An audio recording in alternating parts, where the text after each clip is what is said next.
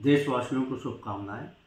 और हम अपेक्षा करेंगे कि जिस प्रकार से पिछले सात दशक से पुराने संसद भवन में देश के जन अधिकार के लिए बातें की गई, देश के जन अधिकार को सुरक्षित करने के लिए काम किया गया, नए संसद भवन में वो परंपरा यथावत विराजमान रहेगी।